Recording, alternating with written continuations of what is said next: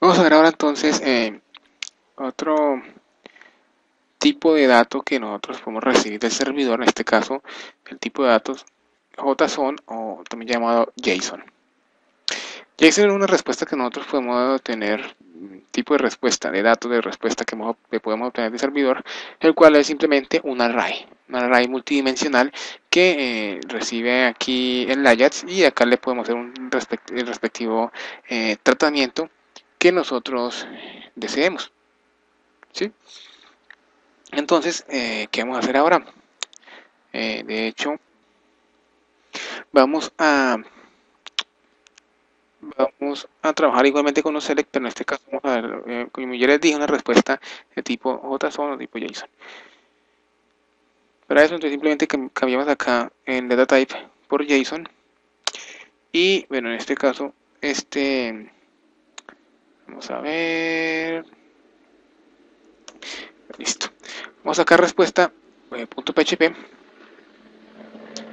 y en este caso en el for imprimir ninguna opción. De hecho aquí tampoco vamos a, imprimir este opción, vamos a ver, ahorita miramos cómo lo solucionamos.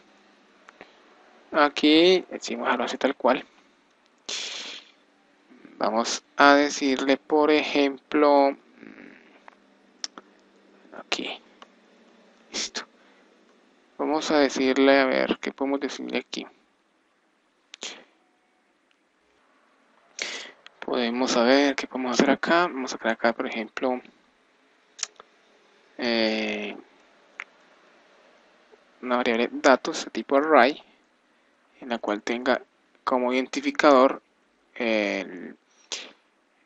la variable i que estamos acá acumulando. Vamos a decirle que es igual a array vamos a decirle acá. Entonces por ejemplo eh, a ver qué le decimos opción 1 por ejemplo que sea igual a es, eh, esta es la opción 1 coma entonces podemos agregar nuevos valores acá opción 2 esta es la opción 2 coma, opción 3, esta es la opción 3. Listo. De esta manera entonces vamos llenamos este array, esta variable de tipo array, y ahora vamos a decir lo siguiente, que es la parte importante aquí en la parte de JSON con Ajax y jQuery. Print R, dentro de print R, dentro de los paréntesis JSON, J, son raya al piso, encode, abrimos y cerramos paréntesis, pasamos la, variable datos, y listo. Lo único que debemos hacer, ya para, por ejemplo, en mm, este punto de esta opción, que si opción es igual a 0, entonces podemos decirle datos 0 e igual y esto es igual por ejemplo mm, vamos a ver. Esto es igual a array opción 1 opción eh, puede ser opción 1 vamos a decirle el mismo texto que tenemos aquí. Seleccione así. Listo este caso estamos trabajando eh, con una llave como tal, aquí como un identificador a este array, nosotros podríamos omitirlo, ¿sí?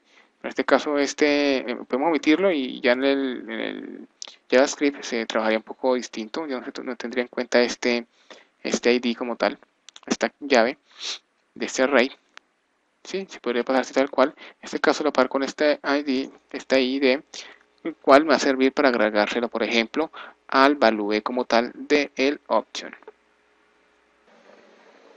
Entonces ya de este modo eh, estamos diciendo, ah, obviamente acá nos falta el print r, el JSON, encode y datos. De esta manera ya estamos respondiéndole al Ajax, al archivo como tal, eh, está el index, al jQuery. Y aquí lo recibimos en datas. ¿Sí? data, entonces recibirá ese valor que nos devuelva el archivo como tal. Entonces aquí debemos hacer un pequeño eh, ciclo. En este caso datas recibirá un array, entonces debemos recorrer ese array, en este caso en JavaScript, acá en con jQuery, lo podemos hacer con el método eh, each, que es un método que hace parte del traversing, del tema de traversing. Entonces ese es un ciclo como tal, que nos recorra eh, X objeto como tal. Entonces, signo de peso o signo de dólar, punto each y ahora por ejemplo entonces lo que vamos a hacer será en este coma la vamos al final. Eh, vamos a ver. Mm, este punto y coma que vamos a hacer es acá dentro de paréntesis abrimos cerramos llaves hacemos un enter y aquí por ejemplo mm, antes de, las llaves pasamos datas que es el valor que queremos recorrer el array que queremos recorrer y le pasamos una función anónima función y le pasamos siguiente índice coma valor este caso entonces nos tomará como tal el índice que nos trae el array de, del archivo php y acá obviamente seleccionamos el valor como tal de ese índice esto es algo así como un eh, en PHP. ¿sí? De esta manera, entonces, ya saben, el each es un, ciclo como tal con, JavaScript, con jQuery, el cual recibe el array, luego acá recibe, otro parámetro, parámetros eh, opcional, en este caso una función anónima, el cual le agregamos índice que es para poder eh, luego trabajarlo aquí dentro del each y val obviamente el valor como tal, o sea, extrae el índice y extrae el valor que trae ese índice.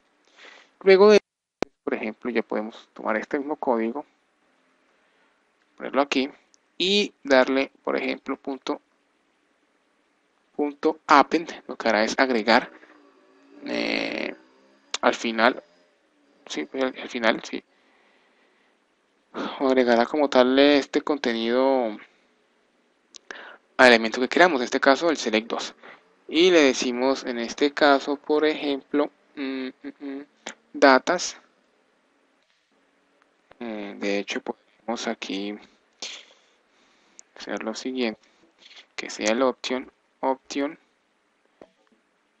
en este caso sería option value igual abrimos comillas en este caso simples eh, concatenamos concatenamos eh, luego ya dobles nuevamente comillas acá dobles, comillas simples. Mm, sería acá sería índice. Y sería, por ejemplo, eh, no decir, de hecho, como índice. Eh, vamos a ver una cosa. Podemos probarlo así a ver qué pasa. Y eh, luego aquí cerramos el la etiqueta acá de option y aquí creamos por ejemplo concatenamos aquí creamos el opción option aquí el contenido como tal que va a tener en este caso datas índice eh, podría ser que podría ser bueno vamos a hacer una cosa que creo que me he equivocado en este caso. Que el PHP va a quitar este. En este caso va a ser option. En este caso va a ser eh, va a ser dinámico.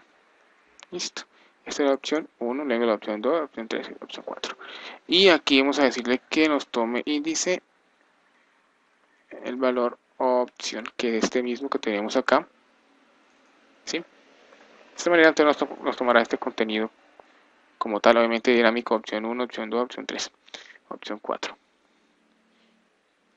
¿Listos? Vamos a ver una cosa mm, que podemos hacer. Y es, a ver, eh, vamos a sacar respuesta.php. Y aquí en respuesta.php vamos a, por ejemplo, Vamos a agregar otro parámetro a pasar. por ejemplo, que sea ID y pasamos el I como tal. Y aquí obviamente, aquí en el value, le diremos índice y le diremos que sea ID, que es este ID que hemos puesto aquí, que dinámico en este caso, ¿sí? Para no complicarlo de pronto con este trabajo. Eh, vamos a ver, entonces vamos a crear también, hacer un, vamos a limpiar el select antes de select. Obviamente aquí dentro de SUSES, eh, ya estamos diciendo que eh, todo ha eh, sucedido correctamente, ¿sí? no hay ningún error, ningún problema con el JavaScript ni con el archivo PHP, entonces ya podemos hacer lo que queramos, en este caso HTML del, del select, select 2 HTML y lo limpiamos. Luego el ish, obviamente hicimos el, recorremos el, array datas, en este caso punto append, lo cargará, ah, va a ser va a servir no HTML, ¿por qué? Porque HTML ya saben que nos borra como tal el contenido como tal del elemento. En este caso, como estamos dentro de un for, al imprimir el primer option en el select, lo que pasará es que eh, primero obviamente borramos, ¿cierto? Entonces el primer recorrido que hace el ish este ciclo, primer recorrido, eh, trabaja correctamente.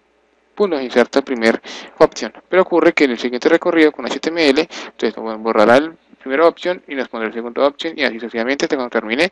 Y al final solamente nos quedará el último opción agregado. Entonces no es ideal. Para eso entonces vamos al append que llegará después de, al final como tal, del, del contenido HTML de mm, elemento nos agregará lo que hacemos aquí. En este caso como es dinámico como un ciclo entonces pasará primero lo, la primera la primera lista luego eh, el segundo recorrido que hace ese ciclo entonces ya lo agregará después de primera opción y así sucesivamente. Y este lo deja un poco más ordenado. Entonces pasamos el, el value el id como tal que pasamos en el respuesta.php y eh, bueno, también opción aquí en el value como tal. Acá respuesta.php. Aquí no es opción 1, sino opción. Seleccione una opción del select 1, así está bien. ¿Sí? Que este mismo valor de acá. Listo, vamos a probar en el navegador. Actualizamos. Seleccionamos la primer, el primer opción. Y ahí está cargando ya nuestros eh, de, archivo de respuesta del archivo respuesta como de .php como tal. Y esta es la respuesta que nos da. Un array. En este caso lo quisimos poner con eh, este identificador pero como les digo eh, no es necesario. No es extremadamente necesario ni obligatorio podemos quitarlo. Luego aquí ya en el javascript debemos ya no pasar acá el índice ¿sí? si no lo deseamos simplemente pasamos entonces en este caso acá no requerimos el índice acá simplemente quitando esto y dejando el ID quitando esto y dejando la opción ya está, trabajando pero entonces en este caso vamos a trabajar de esta manera lo hemos trabajado de esta manera ya nos cargó acá este la opción 1 es la opción 2, 3 y 4 ahora vamos a seleccionar entonces seleccionar una opción y mire automáticamente eh, nos, nos muestra ahora la opción con el contenido seleccione una opción del menú 1 y tenemos un archivo acá respuesta el cual es opción 1 y selección perdón opción y seleccione una opción del select 1 y listo. Ese es el trabajo que podemos hacer con ya eh, con jQuery. El trabajo con Ajax que ya saben es supremamente sencillo. El uso de unos pocos eh, líneas de código podemos hacer eh, gran cantidad de eh, funcionalidades a nuestras aplicaciones, a nuestros sitios web. Algo eh, muy interesante sobre todo esto de los select dinámicos con Ajax, que yo sé que es uno de los temas que a ustedes eh, les va a gustar como tal.